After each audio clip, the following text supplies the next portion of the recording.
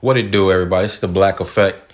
I just recently saw something, um, the interview with Math Hoffa or, or live that Math Hoffa did about saying that Charleston White, that he's beefing with Charleston White because Charleston White said that he was going to do something to his seven or eight year old daughters. He said he was going to do something pretty egregious to them.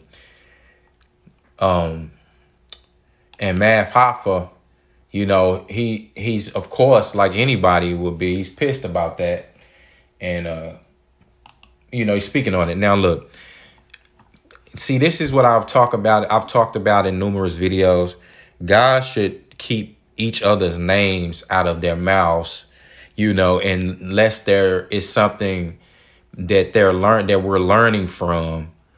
It shouldn't definitely shouldn't be going to a certain level as grown men. Now I know Math Hoffa comes from the battle rap scene and he's disrespected some people to the utmost. You know, we know that. That's what battle rappers do. That's why I never really got into the battle rap. I'm not a battle rap fan at all.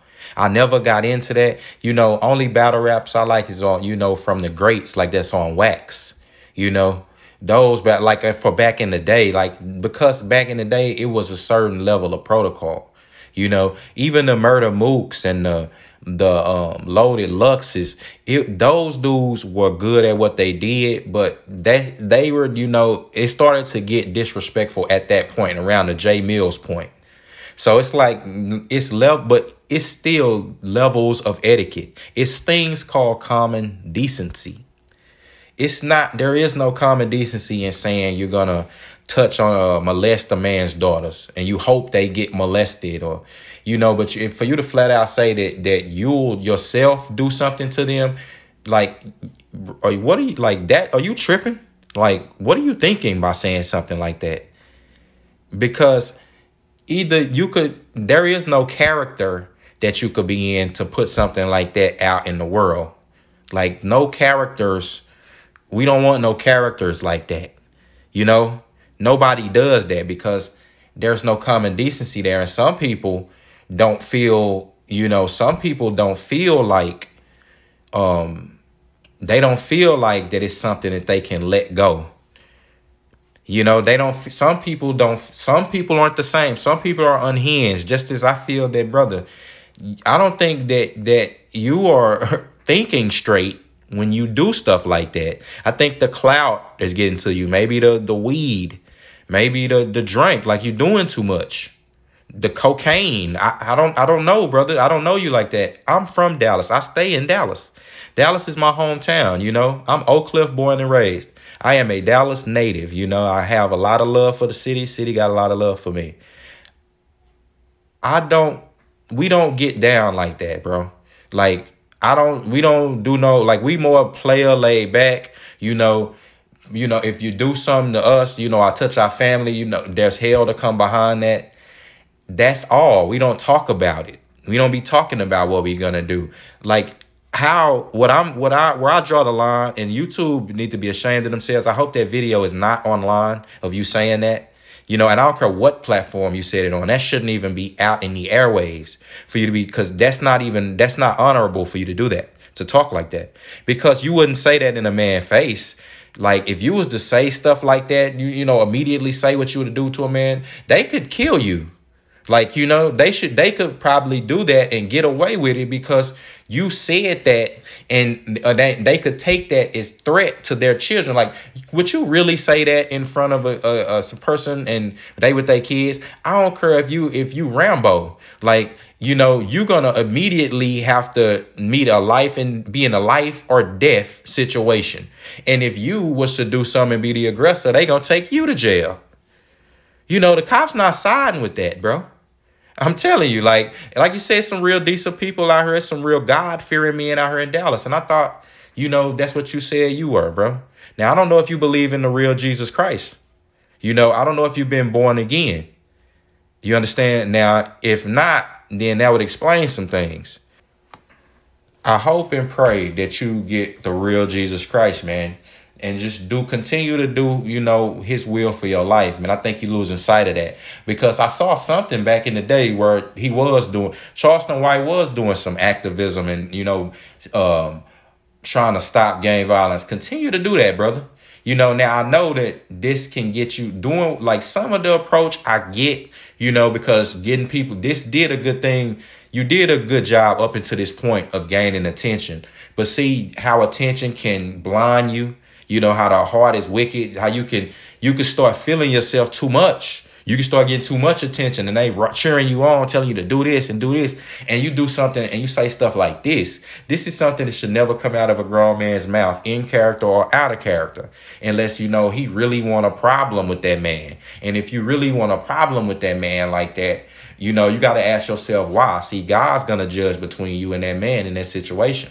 You know, you picking him out to go talking about his kids. Like, you know, stick to the topic. You understand? Like that's not, you know, that that's not nothing's player about that. Nothing's honorable or respectable about that. And then I don't know in anyone see people in this day and age just want to see you crash out. They want to see something happen to Charleston White. They literally do.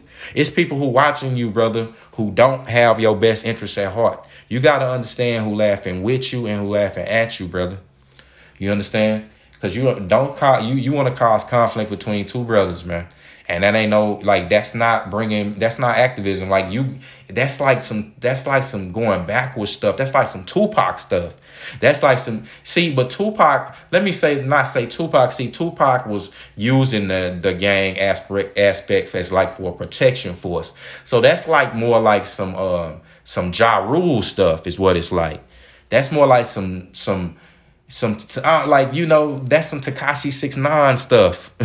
I put them all in the same category. It's uh fun, ironically to say. I put Charleston White, Tosh, uh, uh, Jaguar, um, Tekashi Six Nine. Like this is the age of the people who are like who just do shock, like shock commentary, or you know, just totally disrespectful things, say disrespectful things to people, and a lot of that is because from like you know you could tell that these people are hurt.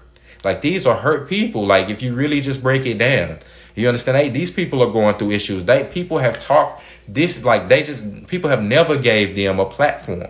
You understand? Like and for if this was years ago before the internet they wouldn't like they would never have a platform. But again man all i say is i don't wish no ill will on neither one of these brothers but when you talk about a man's kid and doing stuff like that, you you're asking for trouble, brother. Like not all people want to you, you know, not all people want to talk or, or just to talk over the internet. Like if you again, if you see a guy, you talking about assaulting and and I'm not even saying the egregious thing that he talked about doing to his daughters. Like I don't even know who thinks like that. But he talked about doing something egregious to to Math Hoffa's daughters, who's six and seven years old. And he also wished that they was to get molested. If you say something like that, can you imagine if, you know, like I said, if a man is out and about with his children or something like that and he see you, he not gonna even ask no questions. He just gonna get the blasting. You know, he just gonna see you and, and, and grab you up, him you up, you know, and just get the dumping on you. You understand? Cause and then he gonna tell the police, like, man, this man was threatening my kids, and I thought that he was gonna do something.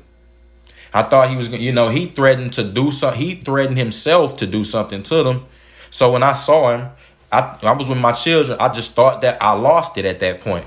You know, niggas is gonna be like temporary insanity or something like that. It's a it's a couple of ways, you know, that a man can get off in def- you know in defense for that, and that's gonna be between him and the Lord. Let the Lord the Lord is gonna be the judge of that, because again, no man should be incite. You shouldn't be antagonizing anyone, inciting violence, especially against children. No one's behind that. Look, I'm not riding with that. Don't think this is a Dallas, New York thing. This definitely isn't that. You know, by far, I got a lot of love for New York, and I know cats, um, you know, got a lot of love for Dallas, up top, down south. You feel me? And I know it. You know, we know who, what the DOC brought to the game. So it's nothing but love, man. You know, it's love for Math Hoffa and his family. Really, really, brother. I would for Math Hoffa, I really wouldn't even feed into that. You do wrong by you do yourself a disservice. Not wrong. You do yourself a total disservice by responding to a person like Charleston White. Like you should be able to read who you should respond to and who you shouldn't. But I get this from this perspective, bro. When the nigga talking about your kids, you gotta let a nigga know what time it is, bro. You gotta let a nigga know it's do or die. You feel me? And you take it however you want. You feel me? Like it is what it is. you take that however you want. See, a nigga could say whatever he want to me. Like, I don't have children. It is what it is. You know, whatever you say about my mama, you know, I love my whole family. You can say whatever you want about anybody. It is what it is, bro, because it's sticks and stones, my nigga. I'm mature enough. I really do mean that, and I'm a God-fearing man. You know, God is the final judge. God, you know, and the Lord say vengeance is mine. But one thing, like I said, as long as you don't touch any touch me, as long as you don't, you know, you're not in my vicinity to uh and and, and speak and threaten me or threaten my family, as long as you're not, that's the only two things. As long as you're not in my vicinity and threaten me and my family, and as long as you don't touch me or my family or anyone that I love, then you find to move around and say whatever you want. Period. You know? That's it. But any other than that, man, you know, it's all love. And I just don't, like I said, for math, bro, just go ahead and you said your piece. I get it, brother. But just at you should know at this point you can leave it alone. You you you know we know what it is, bro. Don't this this is going nowhere. And then for Charleston, brother, just understand like if you have a mission, then you know handle that. And and you know if you I wish you if you really genuine in what you're doing, then you know you shouldn't be saying nothing like what you said. You should know better. That can ruin your whole your whole platform. Nobody else like the whole platforms, every platform can just get you up out of here. You see what they did to Andrew Tate for nothing. They did that for to you know to Tommy Sotomayor for for less than what you doing. So with that being said, it's your man Nico B. Black Effect. Gone.